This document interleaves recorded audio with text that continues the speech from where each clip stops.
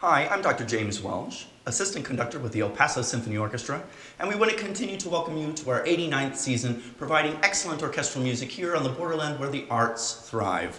Now make sure that you join us on January 17th and 18th, starting at 7.30 p.m. in the Plaza Theater, just a few short days away, to see a wonderful collaboration between the El Paso Symphony and a local fan favorite, Zuill Bailey, the Grammy Award-winning cellist. Now we'll hear works by Camille Saint-Saëns in his Cello Concerto Number no. 1 in A minor, and Tchaikovsky's Variations on a Rococo theme. Even though that latter piece was written during a particularly grievous depression of Tchaikovsky's, because it saw so many musical failures in his life between the Fourth and the Fifth Symphony, it is light and airy and an homage to Mozart, one of his all-time role models.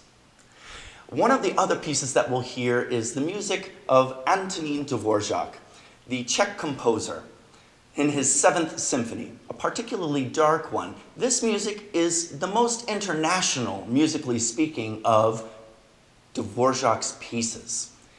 He had just heard and was impressed by Johannes Brahms' Third Symphony, and it was so fortuitous that at that same time, the London Philharmonic Society asked him to write a symphony and inducted him as an honorary member.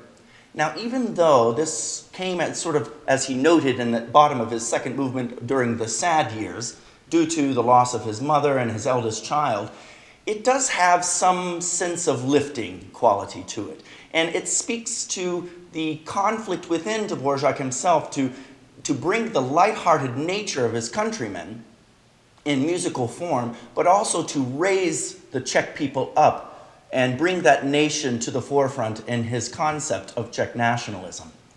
This music is fabulous, and it is being fabulously played by the El Paso Symphony Orchestra. Make sure you come on January 17th and 18th, not only hear that wonderful symphony, but the wonderful cello stylings of Zuill Bailey. Thanks so much.